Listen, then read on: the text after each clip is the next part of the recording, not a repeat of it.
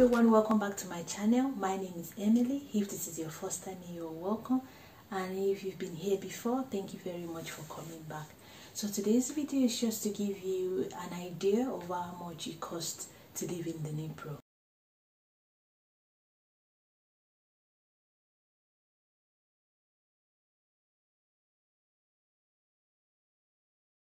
you're a student and you're thinking of moving to the Dnipro, just to give you an idea of how much it would cost you to live in the Dnipro per month. So the first uh, point I'd like to talk about is accommodation. Accommodation in the Dnipro is quite reasonable compared to like the UK, but it might be different if you're coming from another part of the world. So accommodation can cost you around 300 to 400 pounds uh, a month. It could be more than that depending on your taste.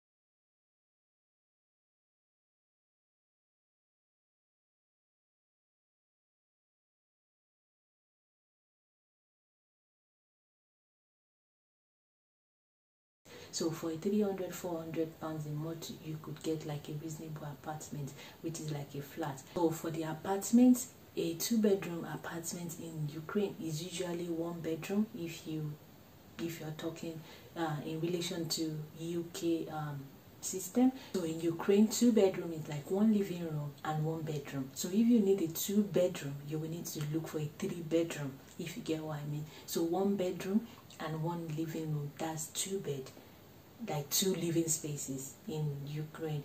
But in the UK, that's just a one bedroom. For a one bedroom is a two bedroom in Ukraine because they count the living room as a bedroom.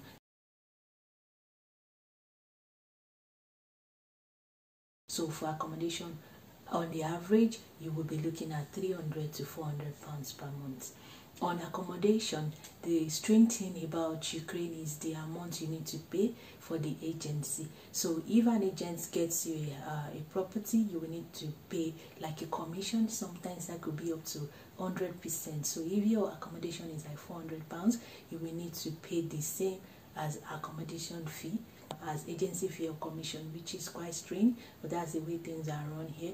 And also on top of that you need to pay a deposit. So if you are coming in you would need like 1200 or even more to sort out your accommodation. So 400 for the accommodation for the rent then the deposit would be 100 percent then the uh, agency fee or commission could be up to 100 sometimes you can get like 70 percent or thereabout but some people want 100 so that's why you if you can negotiate you might be able to get something cheaper but generally it's between 70 or 100 uh, or 100 percent of the rent it can depend from one agent to another but this is just a general idea of what it's like to rent in Dnipro.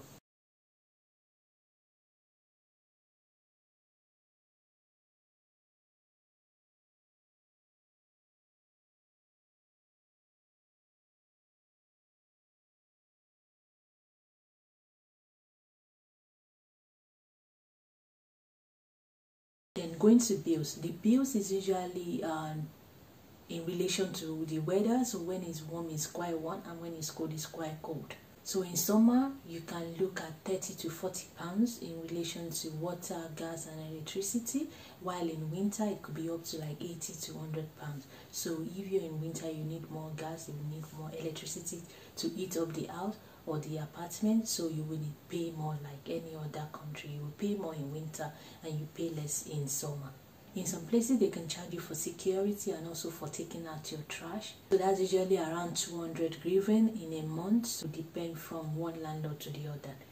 That's like five or six pounds which is quite reasonable. Then the next is internet. For the internet you can get a reasonable internet for like 200 griven which is like five or six pounds which is quite reasonable for uh, your telephone you can get like 250 260 griven which is like unlimited text unlimited data and unlimited calls and that is around seven or eight pounds um, per month so which is quite good.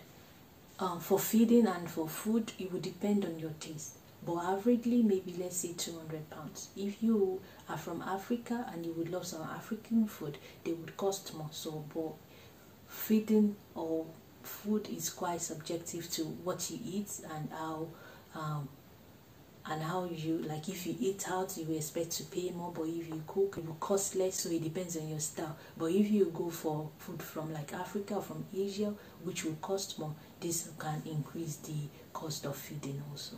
As i said earlier the food items in places like Varus which is like tesco's here it's quite affordable but if you buy stuff from like african shop it would be more expensive because of the import duties. Another cost associated with importing the food items into the country. The next point is transportation. Transportation is quite affordable here and you've got various options of buses, trams, rails, taxis and like Uklons and Ubers. So for like the bus you can get a bus for like 10 griffin which is less than 30p for like a 20 minutes or a 30 minutes journey and same as the tram is like 8 griffin which is quite affordable. Then you could get like Uklon which is the local taxi service and you could search for taxis around and you can adjust the price so you could get the minimum amount that someone is willing to give you right? Which is a good feature because if there's someone that is willing to take for 100 and someone that is willing to take you for 80 griffin you might save some money by going with the 80 griffin um, taxi driver. And uber is also good. It helps you and you can get around with uber so Uklon and Uber is usually around 100 griffin, um, depending on where you're going. It could be less, it could be more, depending on where you're going. The last thing I would say is just like uh, eating out. Eating out is affordable. Like as I said, it's subjective to it in relation to what you eat, where you where you go.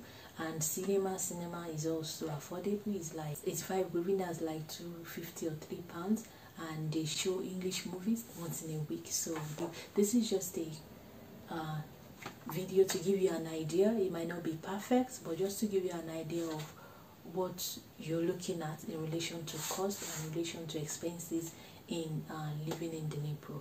Thank you very much once again for watching. If you've not subscribed to my channel, kindly subscribe, like and share my videos and also turn on your notification bell so that you can be notified when I post new videos.